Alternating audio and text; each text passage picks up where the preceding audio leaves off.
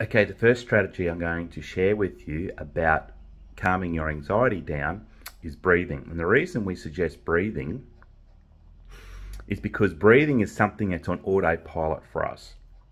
And so when we deliberately slow down our breathing and take deep breaths, we're taking control back from the automatic part of our brain. And the brain is really um, keen on making sure that we breathe because we can't survive more than a couple of minutes without, without breathing. So by breathing, we take control back from our anxiety. And the strategy I want to share with you is this.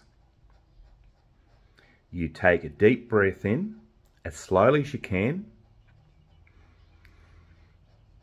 And then when you're full air, one and two, and then slowly let the air go out. And then when you have nothing left, one and two, and repeat that five times.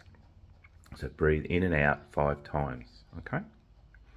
Now, it is hard to use when you're in minute, minute uh, of a panic attack, but as soon as you start to feel anxious or about to do something anxious, do your breathing. Another good thing to do if you're sitting somewhere at a meeting and you start to get anxious, sit on your hands or, or grab the edge of the table or desk that you're sitting at. Or if you're in your car, grab your the steering wheel. Or if you're out shopping, grab the, um, the shopping trolley. So it's really important to do something with your hands. And if you're sitting down somewhere, just put your hands on your knees. So that's one strategy that can be very effective to stopping your anxiety becoming overwhelming is breathing.